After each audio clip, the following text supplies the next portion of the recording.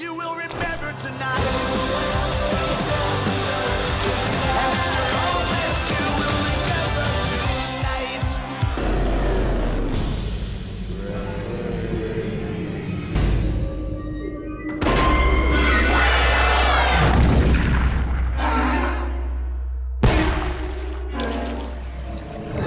Stop those things from getting to the prom, then our world is over.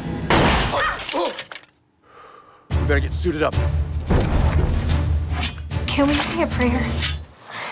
Gay?